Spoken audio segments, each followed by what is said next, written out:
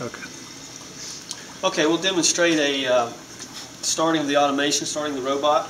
Take our six-inch cassette. Uh, notice the on, on this end effector, the H bar is facing out, H bar out, and it just loads right in place. Hangs on the two hangers. Uh, from there, we, we should make sure that our robot is in a home state. If not, you need to power it up and home it. Um, so in this case we are, we're already homed, and if we want to demonstrate that, we could just hit home again. It's going to go through its motion, and will tell us, there it is, it's moving theta, and this normally takes a few seconds. There it is, so RTM, well, there it is, RTM home. Alright, so from here, we're going to load our recipe, and we'll just pick test one and we should see it say in the top left recipe loading. Once that goes away we can hit the start button.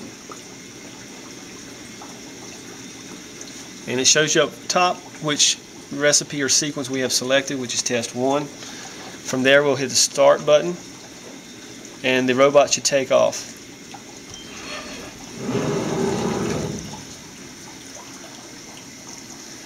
And it's laid out the same way the bench is laid out the same way the screen is. So our, our PT2 is the uh, right tank QDR in the middle and our PT1 is the left side. So you can you can sort of get an onboard screenshot here of what's going on. It's got our time right now.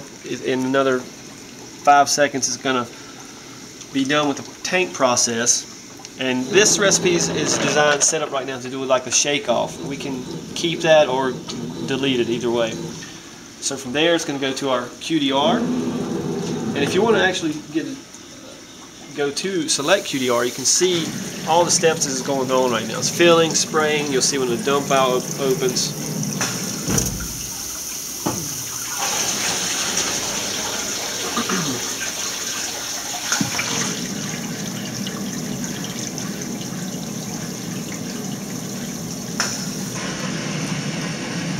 Now it's filling from the bottom.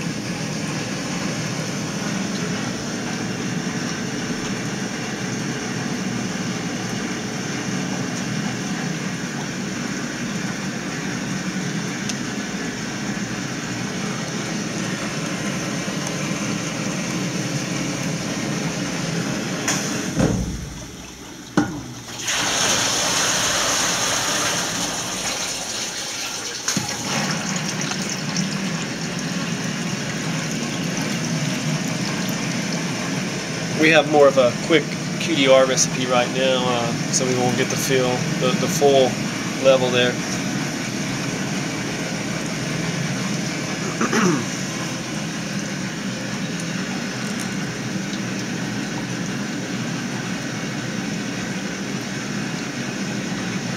so within two seconds it should be finished with this recipe.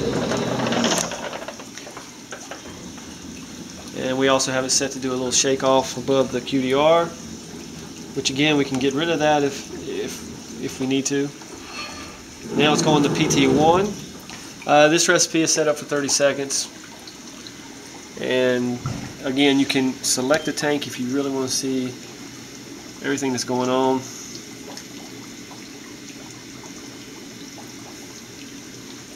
All of our temperature controllers here are only really for reference. Uh, this controller is just monitoring the actual temperature, which is process temperature, but the temperature controller is really driven by our temperature Watlows here on the panel.